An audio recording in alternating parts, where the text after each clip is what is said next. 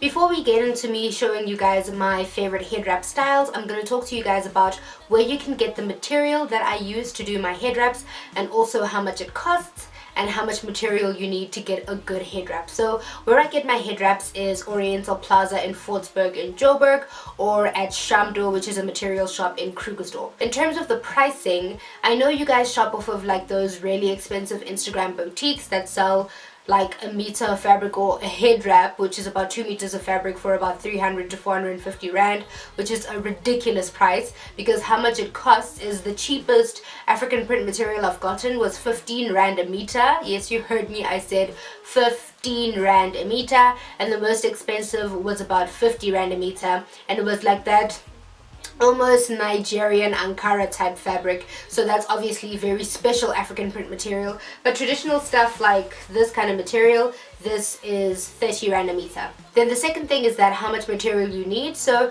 to get a good head wrap and depending on your head size and what you have on your head at the time like do you have braids or do you have your natural hair um, I would say you need about 1.5 meters to about 2 meters of fabric to get a good head wrap and 2 meters being a lot of fabric. So I'm to show you guys how much 2 meters is. So this is my fabric and this is where it begins and I'm to pull it until we get to 2 meters. So as you guys can see this is a lot of fabric and it's also quite wide. So as you guys can see this is a lot of material. And this cost me all of 80 rand because it was 40 rand a meter so it cost me 80 rand together. So clearly the head wraps are much cheaper than everybody has anticipated. So if you want to get like the fuller looking head wraps you would need about 2 meters. And if you want to get like a slimmer more head fitting head wrap or just the bows and stuff like that